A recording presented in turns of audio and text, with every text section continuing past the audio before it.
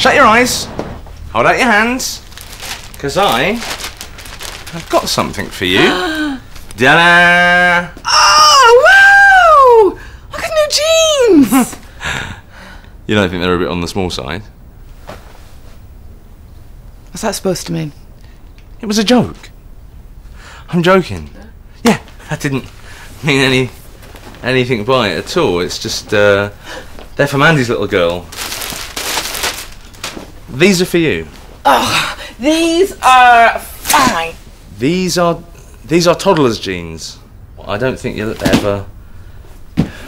No problem. Check it out. Amazing. Yeah, good jeans.